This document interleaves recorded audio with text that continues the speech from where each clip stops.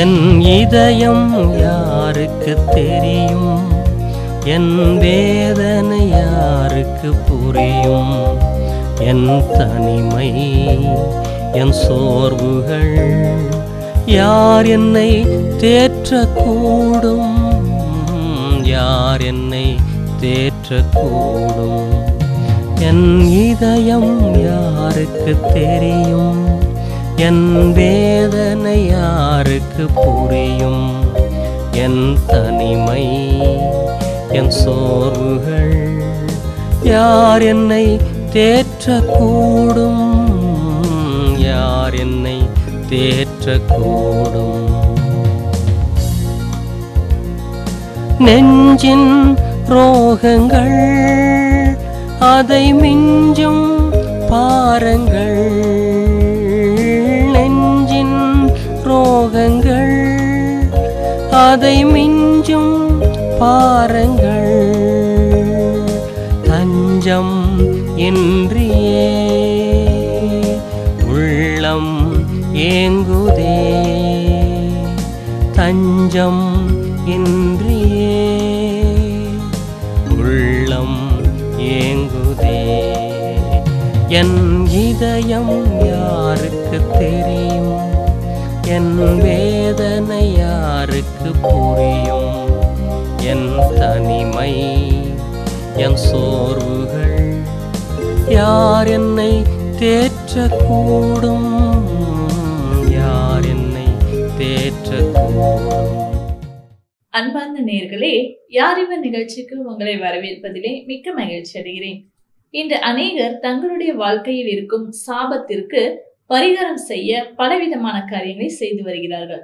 ஒரு குழந்தை பிறக்கும் போது அதனுடைய தாயோ தந்தையோ அல்லது நெருங்கிய உறவினர்களோ இறந்து விடுவார்களானால் அந்த குழந்தையை சாபம் பிடித்த குழந்தை என்று எல்லோரும் கூறுவார்கள். அநேக சமயங்களிலே அந்த குழந்தை தாழ்வு மனப்பான்மையோடு வளருவதையும் நாம் கண்டிருக்கிறோம். உண்மையில் நம்முடைய வாழ்க்கையில் சாபம் இருக்கிறதா? அப்படியானால் அதற்கு காரணம் என்ன? சாபத்திற்கு பரிகாரம் என்ன? இந்த கேள்விகளுக்கு பரிசுத்த வேதாகமத்திலிருந்து நமக்கு விடையளிக்க வருகிறார் பாஸ்டர் டேவிட் பர்னபாஸ் அவர்கள். யார் இவர் நேயர்களுக்கு? ஆண்டவராகிய இயேசு கிறிஸ்துவின் நாமத்திலே அன்பான என்னுடைய வாழ்த்துக்களை தெரிவித்துக் கொள்கிறேன். இந்த நாளிலும் உங்களை சந்திப்பதில் மிக்க மகிழ்ச்சி அடைகிறேன். உங்களோடு கூட சேர்ந்து சில காரியங்களை ஆண்டுடைய ஆலோசனையை நாம் பார்க்கலாம் என்று சொல்லி விரும்புகிறேன். சாபத்திலிருந்து விடுதலை என்ற தலைப்பின் கீழாக உங்களோடு கூட நான் சில காரியங்களை பகிர்ந்து கொள்ள விரும்புகிறேன்.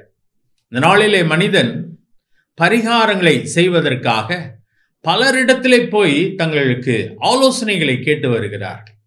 ஜோசியரிடத்திலே போகிறார்கள் சாமியார்களிடத்திலே போகிறார்கள் ரோட்டிலே சிலர் பிச்சைக்காரர்களை போல உட்கார்ந்து கொண்டிருக்கிறார்கள். அவர்களிடத்திலே போய் மண்டியிட்டு நின்று அல்லது சமணம் கால் போட்டு உட்கார்ந்து காத்து கொண்டிருக்கிறார்கள் அவர்கள் ஏதாவது ஆலோசனை சொல்லுவார்கள் என்பதற்காக. இப்படி அவர்கள் போவதற்கு காரணம் என்னவென்று சொன்னால் தங்களுடைய வாழ்க்கையிலே ஏதோ ஒரு சாபம் தங்களை அழுத்தி கொண்டிருக்கிறது என்பதை அவர்கள் அறிகிறபடினால்தான் மனிதனுடைய வாழ்க்கையிலே தெரிந்தோ தெரியாமலோ சில தவறுகள் செய்துவிடும் பொழுது அதனால ஏற்படுகிற நெருக்கம் சில சாபங்கள் சில நஷ்டங்கள் இதையெல்லாம் நீக்குவதற்காக மனிதன் பரிகாரங்களை செய்வதற்காக ஓடிக்கொண்டிருக்கிறதை நாம் பார்க்கிறோம். சாபம் என்ற காரியம் மனிதனுடைய வாழ்க்கையிலே எப்பொழுது வந்தது என்று சொல்லி கவனிப்போமானால் பரிசுத்த வேதாந்தத்திலே அதை பற்றி நாம் வாசிக்கிறோம். கடவுள் மனிதனை படைத்த பொழுது அவன் சாபத்தோடு கூட உண்டாக்கப்படவில்லை. தேவன் அவனை தன்னை போலதான் உண்டாக்கினாராம்.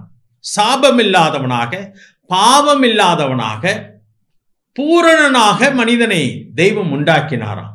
ஆனால் மனிதன் என்றைக்கு பாவம் செய்தானோ அன்றைக்கு சாபம் வந்தது.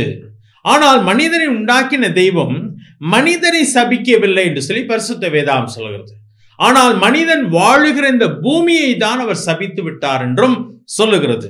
ஆதி ஆகமத்திலே வாசிப்போமானால் அதை நாம் வாசிக்க முடியும். ஆதி ஆகமம் மூன்றாவது அதிகாரத்திலே வாசிக்கும் பொழுது இப்படியாக வாசிக்கிறோம். பதினேழாவது வசனத்தை நான் வாசிக்கிறேன் பாருங்கள்.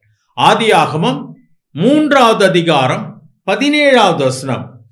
பின்பு அவர் ஆதாமை நோக்கி நீ உன் மனைவியின் வார்த்தைக்கு செவி கொடுத்து புசிக்க வேண்டாம் என்று நான் உனக்கு விளக்கின விருட்சத்தின் கனியை புசித்தபடியினால் பூமி உன் நிமித்தம் சபிக்கப்பட்டிருக்கும்.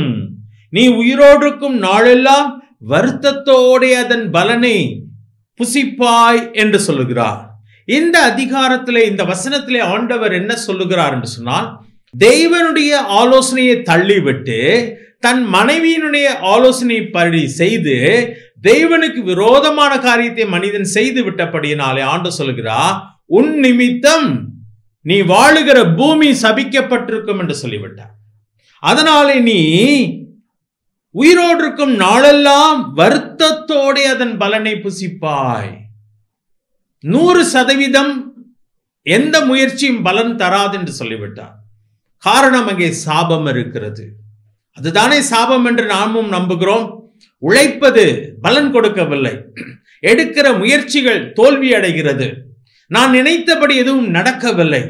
எல்லாம் நான் நன்றாக தான் செய்தேன். ஆனால் என் வாழ்க்கையில் எதுவுமே வாய்க்காமல் போகிறது என்று சொல்லி நம்முடைய வாழ்க்கையில சாபத்தை நாம் உணர்கிறோம்.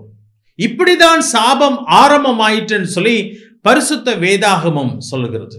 இதை அடிப்படையாக வைத்துக் கொண்டுதான் இன்றைக்கு வாசு சாஸ்திர சாஸ்திரம் என்று சொல்லி அது ஒரு பெரிய வணிகம் நடந்து கொண்டிருக்கிறது. உன் வாழ்க்கையிலே உன் வீட்டிலே உன் படுக்கை அறை இருக்க வேண்டிய இடத்தில் இல்லை உன் வாசல் இருக்க வேண்டிய இடத்தில் இல்லை உன்னுடைய சமையல் அறை இருக்க வேண்டிய இடத்தில் இல்லை. வாசலை மாற்றி வை. உன் கழிவறையை வேறு இடத்திலே வை என்று சொல்லி அநேக ஆலோசனைகள் கொடுக்கப்படுகிறது. இதையும் மனிதன் செய்து கொண்டுதான் இருக்கிறார்கள் நம்முடைய வாழ்க்கையிலே சாபம் இருக்கிறது என்று சொன்னால் என்ன செய்வது என்பதை நாம் கவனித்தாக வேண்டும். பரிசுத்த வேதாந்தத்தில் ஒரு அ- அற்புதமான ஒரு சம்பவம் உண்மை சம்பவம் ஒரு மனிதனுடைய வாழ்க்கையிலே நடந்த சம்பவம் எழுதி கொடுக்கப்பட்டிருக்கிறது. அந்த மனுஷனுடைய வாழ்க்கையிலே ஏதோ ஒரு காரியம் அந்த மனுஷனை அழுத்தி கொண்டிருந்தது. அது அவனுடைய பிறப்பிலிருந்து அவனை அழுத்தி கொண்டிருந்தது. அதை நான் வாசிக்க விரும்புகிறேன். உங்கள் வாழ்க்கையில அந்த மனுஷன் எப்படி அந்த சாபத்திலிருந்து வெளியே வந்தான் ஆசீர்வாதமான மனிதனாக மாறினான் என்பதை நான் உங்களுக்கு எடுத்து காட்ட விரும்புகிறேன்.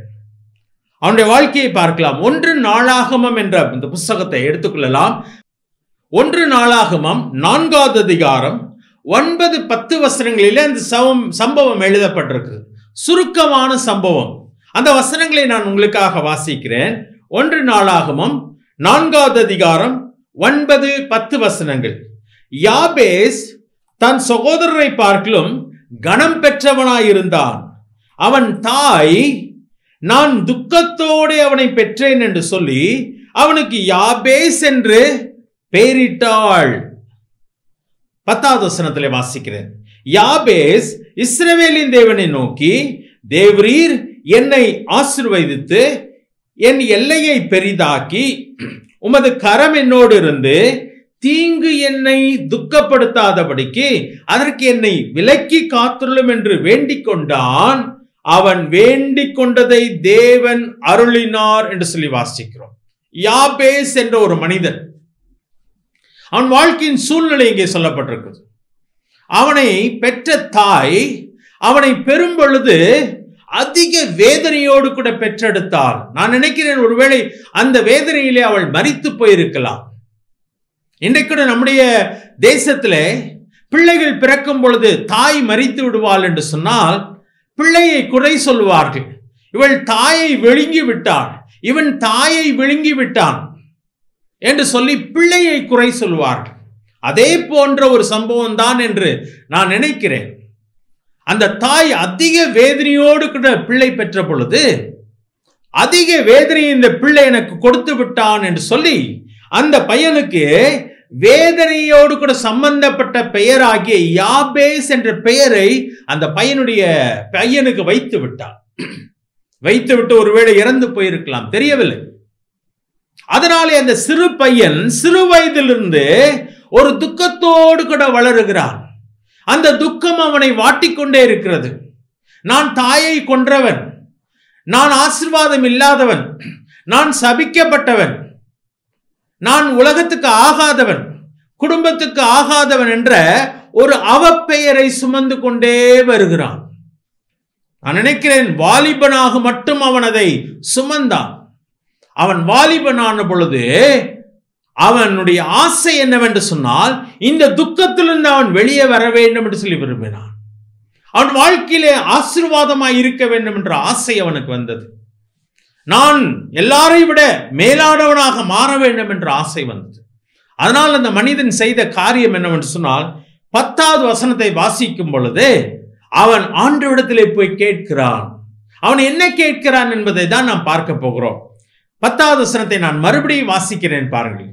யாபேஸ் இஸ்ரவேலின் தேவனை நோக்கி தேவரீர் என்னை ஆசிர்வதித்து என் எல்லையை பெரிதாக்கி உமது கரம் என்னோடு இருந்து தீங்கு என்னை துக்கப்படுத்தாதபடிக்கு அதற்கு என்னை விலக்கி காத்தருளும் என்று சொல்லி ஜெபிக்கிறான் அந்த மனுஷன் அந்த துக்கத்தை விட்டு வெளியே வர முடியாமல் கஷ்டப்பட்டு கொண்டிருக்கும் பொழுது அந்த சாபத்திலிருந்து அந்த வேதனையிலிருந்து அவன் வெளியே வருவதற்காக ஆண்டவரிடத்திலே போகிறான். தன்னை படைத்த தேவனிடத்திலே போகிறான். போய் சொல்லுகிறான் ஆண்டவரே என்னை ஆசிர்வதியும் என்று சொல்லுகிறான். என்னை ஆசிர்வதியும். நான் ஆசிர்வாதமாய் இருக்க விரும்புகிறேன். என்னுடைய சாபத்தை நீக்கிவிடும். என்னை ஆசிர்வதியும் என்று கேட்கிறான். இரண்டாவது காரியம் சொல்கிறான் என் எல்லையை பெரிதாக்கும் என்று சொல்கிறான். நான் பிரயோஜனம் உள்ளவனாக இருக்க வேண்டும். நான் துக்கத்திலே முடங்கி போய் கிடக்கிறேன். நான் பிரயோஜனமற்றவனாக இருக்கிறேன். நான் யாருக்கும் ஆகாதவனாய் இருக்கிறேன். என் வாழ்க்கையிலே என்னுடைய துக்கத்தை நீர் நீக்கி என் எல்லையை பெரிதாக்கும் என்று சொல்கிறான். அது மட்டுமல்ல உம்முடைய கரம் என்னோடு கூட இருந்து என்னை தீங்கு துக்கப்படுத்தாதபடிக்கு என்னை பார்த்து கொள்ளுங்கள் என்று சொல்கிறான் தீங்கு என்னை துக்கப்படுத்துகிறது. ஏதோ சம்பவம் நம்முடைய வாழ்க்கையில நடந்து விடுகிறது. நடக்கக்கூடாத காரியங்கள் நடந்து விடுகிறது. உலகம் நம்மை ஒதுக்கி வைக்கிறது. இவன் குடும்பத்துக்கு ஆகாதவன் என்று சொல்லுகிறது. சில பிள்ளைகள் பிறக்கும் பொழுது தகப்பனாருக்கு வேலை போய்விடும். அப்பொழுது அந்த பிள்ளையை சொல்லுவார்கள் இது குடும்பத்துக்கு ஆகாதது. இது சனியே இது ஒன்றுத்துக்கு ஆகாது. இது சாபம் பிடிச்சது அப்படின்னு சொல்லி அந்த பிள்ளையை குறை சொல்வார்கள். அந்த பிள்ளை கூனி குறுகி போகும்.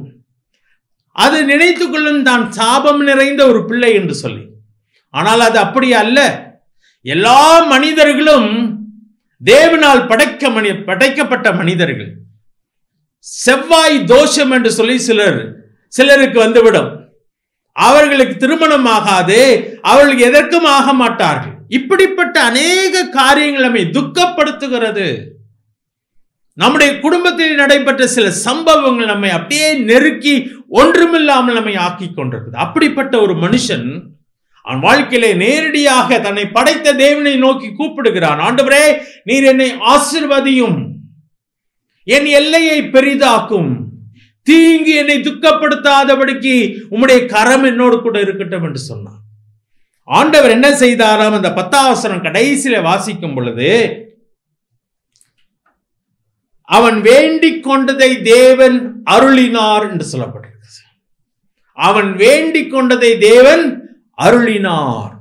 அதனால்தான் ஒன்பதாவசனம் துவக்கத்திலே வாசிப்போமானால் யாபேஸ் தன் சகோதரரை பார்க்கிலும் கணம் பெற்றவனாக இருந்தான். கோணி குறுகி வாழ்ந்து கொண்டிருந்த அந்த மனிதன் அவன் வாழ்க்கையிலே தேவன் அவனை ஆசிர்வதித்த பொழுது அவனுடைய சகோதரர்களை பார்க்கிலும் கணம் பெற்றவனாக மாறிவிட்டான். அவன் சகோதரர்களை பார்க்கிலும் பெரிய மனிதனாக மாறி இதுதாங்க நம்முடைய தேவன். இதுதான் வேதாகமத்தின் தேவன். சாபம் நீங்குவதற்காக பரிகாரம் தேவையில்லை. நன்றாக புரிந்து கொள்ளுங்கள். பரிகாரி கத்தர் சொல்லுகிறார் நானே உங்கள் பரிகாரி ஆகிய கத்தர் என்று சொல்லி. நான் தான் உங்கள் பரிகாரி. நான் உங்களுக்கு பரிகாரம் செய்கிறேன். என்னிடத்திலே வந்துவிடு என்று சொல்லுகிறார். கலாத்தியர் என்ற புஸ்தகத்தில் இப்படியாக வாசிக்கிறோம். கலாத்தியர் மூன்றாவது அதிகாரம் பதிமூன்றாவது வசனத்தை வாசிக்கிறேன் பாருங்கள்.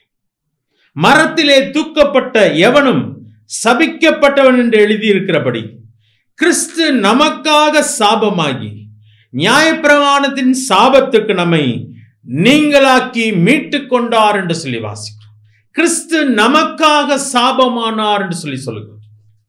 ஆண்டவர் இந்த பூமியிலே வந்ததற்கு காரணம் என்னன்னு சொன்னா நம்முடைய பாவத்தை அவர் தன் மீது எடுத்துக்கொண்டார் நம்முடைய சாபத்தை அவர் தன் மீது எடுத்துக்கொண்டார் மனிதன் தானே பாவம் செய்தான். அதை நான் ஏற்கனவே உங்களுக்கு எடுத்து வாசித்து காண்பித்தேன். மனிதன் என்றைக்கு பாவம் செய்தானோ அன்றைக்கு அவன் மீது சாபம் வந்தது. ஆண்டவராகி இயேசு கிறிஸ்து எதற்காக வந்தார் என்று சொன்னால் மனிதனுடைய பாவத்தை தன் மீது எடுத்துக்கொள்வதற்காக. பரிசுத்த வேதாம் சொல்கிறது நமக்காக சாபமானாரே அவர் பாவம் ஆக்கப்பட்டார் என்று சொல்லப்பட்டிருக்கிறது. இதோ உலகத்தின் பாவத்தை சுமந்து தீர்க்கிற தேவ ஆட்டுக்குட்டி என்று சொல்லி அவரை பற்றி சொல்லுகிறது. ஆம். அதுதான் பரிசுத்த வேதாம் சொல்கிற நற்செய்தி. நீங்களும் நானும் நம்ம நம்முடைய தவறுகளுக்காக நம்முடைய பாவத்திற்காக பரிகாரம் செய்ய முடியாது. குற்றவாளியாய் இருக்கிறவன் குற்றம் செய்து சிறைச்சாலையில் இருக்கிறவன் அவனுக்கே அவன் ஜாமீன் வாங்க முடியாது. காரணம் அவன் குற்றவாளி. வெளியில் இருக்கிற விடுதலையாயிருக்கிற ஒரு மனிதன் நான் போய் அவனுக்கு ஜாமீன் வாங்க வேண்டும். பாவமே செய்யாத தேவன் நமக்காக இந்த பூமியில வந்து நமக்காக பரிகாரம் செய்து விட்டார் என்றுதான் பரிசுத்த வேதாம் சொல்லுகிறது. நன்றாக கவனிங்க நீங்களும் நானும் பரிகாரம் செய்ய முடியாது. நமக்காக பரிகாரம் செய்தவர் நம்முடைய ஆண்டவராக இருக்கிறார். நானே உங்கள் பரிகாரியாய் கத்தர் என்று அவர் சொல்லியிருக்கிறார். நானும் நீங்களும் செய்ய வேண்டிய காரியம் என்ன தெரியுமா இப்பொழுது? நம்முடைய வாழ்க்கையில பாவம் இருக்கிறது. பாவத்தினாலே வந்த சாபம் இருக்கிறது. அதனாலே நெருக்கப்படுகிற ஒரு வாழ்க்கை இருக்கிறதுன்னு சொன்னால் விடுதலை ஆக்கக்கூடியவர் ஒருவர் தான் ஒருவர் தான் உங்களை விடுதலை ஆக்குகிறார். அவரிடத்திலே ஓடி வாருங்கள். ஆண்டவராக இயேசு கிறிஸ்துவிடத்திலே ஓடி வாருங்கள். ஆண்டவரிடத்திலே இந்த யாபேசை போல ஜெபிக்க வேண்டும். ஆண்டவரே என்னுடைய பாவத்தை நீக்கும். என் சாபத்தை நீக்கும். என்னை ஆசிர்வதியும் என் எல்லையை பெரிதாக்கும். நான் பிரயோஜனமுள்ளவனாக மாற வேண்டும். ஒரே ஒரு வாழ்க்கை தாங்க. முடங்கி வாழக்கூடாது. பயன்பட வேண்டும். அந்த ஆசை யாபேசுக்கு இருந்தது. அந்த ஆசை உங்களுக்கு இருக்குமானால் இந்த ஆண்டவராக இயேசு கிருஷ்ணத்தில் வாருங்கள். அவர் நம்முடைய பாவத்தை நீக்குவதற்காக தான் வந்தார். பாவம் உண்டென்று உணர்கிறோம் அல்லவா? அந்த பாவத்தை அறிக்கை செய்ய வேண்டும். ஆண்டவரே என்னை மன்னியும். என் சாபத்தை நீக்கும் என்னை விடுதலையாக்கும். நான் அநேகருக்கு பிரயோஜனமாக இருக்க விரும்புகிறேன் சொல்லி நீங்கள் கேட்பீர்களானால் தேவன் உங்கள் ஜெபத்தை கேட்பார். நீங்கள் யாராயிருந்தாலும் சரி நீங்கள் இந்துவாக இருக்கலாம் இஸ்லாமியராக இருக்கலாம் எந்த மதத்தை சேர்ந்தவராக இருக்கலாம் அல்லது நீங்கள் கடவுளே இல்லை என்று சொல்லுகிற ஒரு மனிதனாய் கூட இருக்கலாம். ஆனால் இந்த ஆண்டவராகிய இயேசு கிறிஸ்து உங்களை படைத்தவர். அவர் உங்களை நேசிக்கிறார் உங்களுக்காய் காத்து கொண்டிருக்கிறார் உங்களை ஏற்றுக்கொள்ள விரும்புகிறார். அவர்தான் நம்முடைய தகப்பனாய் இருக்கிறார். அவரிடத்திலே நாம் ஓடி வருவோமானால் அவரை நோக்கி கூப்பிடுவோமானால் நம்முடைய ஜெபத்தை அவர் கேட்கிறவராக இருக்கிறார். நம்முடைய வேண்டுதலை அவர் அருளுகிறவராக இருக்கிறார். இந்த மனிதன் கடைசியிலே அவருடைய சகோதரரை பார்க்கிலும் கனம் பெற்றவனாக மாறினான். பரிசுத்த வேதாந்தத்திலே ஒரு அழகான ஒரு வசனம் உண்டு. கர்த்தர் நல்லவர் என்பதை ருசித்து பாருங்கள் என்று சொல்லி. டேஸ்ட் பண்ணி பாருங்க. அவர் நல்லவர் நான் விசுவாசிங்க. அவர் கெட்டவர் நான் தூக்கி போட்டுருங்க. அவர் உங்களை அழைக்கிறார். இந்த ஆண்டு இயேசு கிறிஸ்துவத்தில் வாருங்கள். இந்த நற்செய்தியை நாங்கள் சொல்லி இதை முடிக்கிறோம். நீங்க எங்கேயும் அங்கேயும் இங்கும் ஓடி திரிய வேண்டாம். ஆண்டோடத்திலே வாருங்கள். படைத்தவரிடத்திலே ஓடி வாருங்கள். அவர் உங்களை ஏற்றுக்கொள்வார். அவர் உங்களை ஆசீர்வதிப்பார். இந்த பூமியிலே மட்டுமல்ல பிரியமானுலே நம்மை பரலோகத்திலே கொண்டு போய் சேர்க்க அவர் விரும்புகிறார். நம்மை அழைக்கிறார். நம்முடைய பாவத்தை மன்னிக்க விரும்புகிறார். சாபத்தை எடுத்து போட விரும்புகிறார். அவர் நல்லவராக இருக்கிறார் என்பதை புரிந்து கொள்ளுங்கள். இந்த காரியத்தை மனதிலே வைத்து சிந்தித்து பாருங்கள். இதை மதமாக பார்க்க வேண்டாம். உங்களை படைத்த தெய்வம் என்பதை புரிந்து கொண்டு அவரிடத்திலே வெட்கப்படாமல் ஓடி வந்து எல்லாவற்றையும் மனம் திறந்து சொல்லி அவர் கொடுக்கிற ஆசீர்வாதத்தை பெற்றுக் கொள்ளுங்கள். கர்த்ததாமே உங்களை ஆசீர்வதிப்பாராக. நீங்கள் இயேசுவின் அன்பையும் பாவ மன்னிப்பையும் நித்திய ஜீவனையும் பெற்றுக்கொள்ள வேண்டுமானால் அவரே உங்கள் பாவத்திற்காக தேவன் அருளிய பலி என உணர்ந்து விசுவாசத்துடன் அவரை உங்கள் வாழ்க்கையில் ஏற்றுக்கொள்ளுங்கள். இது உங்கள் இருதயத்தின் வாஞ்சியை வெளிப்படுத்துமானால் இந்த விசுவாச ஜெபத்தை இப்பொழுதே ஜெபியுங்கள். அப்பொழுது அவர் உங்கள் வாழ்க்கையில் வருவார். இது ஒரு ஜெபத்தின் மாதிரி. முதலில் நான் சொல்லுகிறேன் ஆண்டவராகி இயேசுவே நீர் எனக்கு தேவை. என் பாவத்திற்காக நீ சிலுவையில் மறித்ததுக்கு நன்றி. என் வாழ்க்கையின் கதவை நான் திறந்து உம்மை என் இரட்சகராகவும் ஆண்டவராகவும் ஏற்றுக்கொள்கிறேன். என் வாழ்க்கையை நீர் ஆட்கொண்டு நான் எப்படிப்பட்டவனாக இருக்க நீர் விரும்புகிறீரோ அப்படியாக என்னை மாற்றும். ஆமேன். இந்த ஜெபம் உங்கள் உள்ளத்தின் விருப்பத்தை வெளிப்படுத்துமானால் இப்பொழுதே நீங்கள் இருக்கும் இடத்தில் இந்த ஜெபத்தை ஜெபியுங்கள். நான் இந்த ஜெபத்தை ஒவ்வொரு வாக்கியமாக சொல்லும்போது நீங்களும் அமைதியாக சொல்லுங்கள். ஆண்டவராகிய இயேசுவே நீர் எனக்கு தேவை. என் பாவத்திற்காக நீ சிலுவையில் மறித்ததுக்கு நன்றி. என் வாழ்க்கையின் கதவை நான் திறந்து உம்மை என் இரட்சகராகவும் ஆண்டவராகவும் ஏற்றுக்கொள்கிறேன் என் வாழ்க்கையை நீராட்கொண்டு நான் எப்படிப்பட்டவனாக இருக்க நீர் விரும்புகிறீரோ அப்படியாக என்னை மாற்றும். ஆமேன். இப்பொழுது நீங்கள் இந்த விசுவாச ஜெபத்தை ஜெபித்துள்ளீர்கள். இயேசு கிறிஸ்துவை உங்கள் வாழ்க்கையில் வரும்படி அழைத்திருக்கிறீர்கள். அவரை வேண்டிக் கொள்ளும்போது அவர் வருவதாக வாக்களித்துள்ளதால் அவர் வாக்களித்தபடியே வந்துள்ளார் என்பதை நிச்சயமாய் அறிந்து கொள்ளுங்கள். மேலும் உங்கள் பாவங்கள் மன்னிக்கப்பட்டது என்றும் நீங்கள் தேவனுடைய பிள்ளையாகி நித்திய ஜீவனை பெற்றுக்கொண்டீர்கள் எனவும் உறுதி கொள்ளுங்கள். ஜபசேலா எங்களை நேசிக்கிற நல்ல ஆண்டவரே உமை துதிக்கிறோம் ஸ்தோத்துக்கு ராஜா. நீர் எவ்வளவு நல்லவர் என்பதை நாங்கள் அறிகிறோம். யாபேஸ் தன்னுடைய சூழ்நிலையினாலே நெருக்கப்பட்டான் ஒடுக்கப்பட்டான் பிரயோஜனமற்றவனாயிருந்தான். ஆனால் உம்மை நோக்கி கூப்பிட்ட பொழுது அவனை விடுதலையாக்கினீரே. இன்றைக்கும் அநேகரை விடுதலையாக்கி கொண்டே இருக்கிறேன். இந்த வார்த்தைகளை கேட்ட மக்களை உம்பக்கமாய் நீர் இழுத்துக் கொள்ளும். உம்மிடத்தில் அவர்கள் ஓடி வர கிருபைத்தார் நீர் கொடுக்கிற விடுதலையும் ஆசிர்வாதி பெற்றுக்கொள்ள கிருபைத்தார் உடைய நாமத்தை மெய்மைப்படுத்தும் ஆசிர்வதி ஏசு கிறிஸ்துவின் நாமத்தில் கேட்கும் நல்ல பிதாவே. அமேன்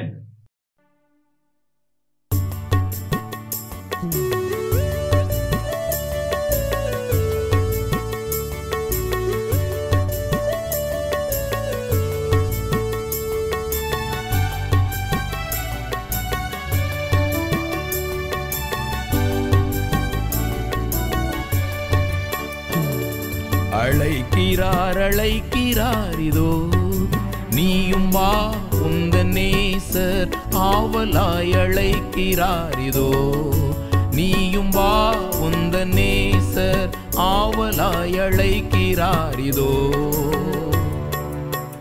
பாவத்தை ஏற்றவர் பலியாய் மாண்டவர். பாவத்தை ஏற்றவர் பலியாய் மாண்டவர். கல்வாரியின் மேட்டினில் கண் கொள்ளாத காட்சியே. கல்வாரியின் மேட்டினில் கண் கொள்ளாத காட்சியே. கண்ணிடும் வேண்டிடும் பாவபாரம் நீங்கிடும். கண்டிடும் வேண்டிடும் பாவபாரம் நீங்கிடும். அழைக்கிறார் அழைக்கிறார் இதோ. நீயும் வா உந்த நேசர் ஆவலாய் அழைக்கிறார் இதோ. நீயும் வா உந்த நேசர் ஆவலாய்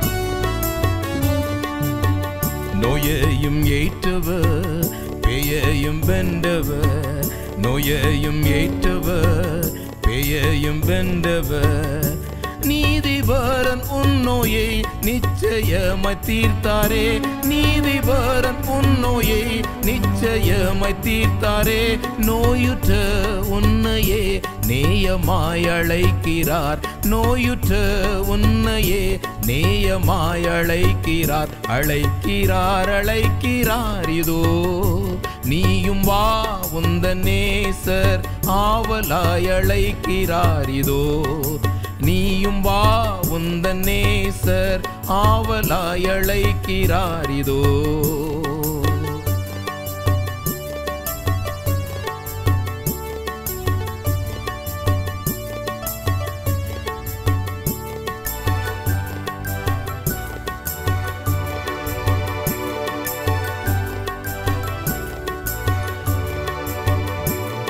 துன்பம் சகித்தவர் துயரடைந்தவர் துன்பம் சகித்தவர் துயரடைந்தவர். இன்னலுற்ற உன்னையே அண்ணல் ஏசழைக்கிறார் இன்னலுற்ற உன்னையே அண்ணல் ஏசழைக்கிறார். துன்புறும் நெஞ்சுமே துரிதமாய் நிவாராயோ துன்புறும் நெஞ்சுமே துரிதமாய் நிவாராயோ. அழைக்கிறார் அழைக்கிறார் இதோ நீயும் வா உந்த நேசர் ஆவலாய் இதோ. நீயும் வா உந்த நேசர் ஆவலாய்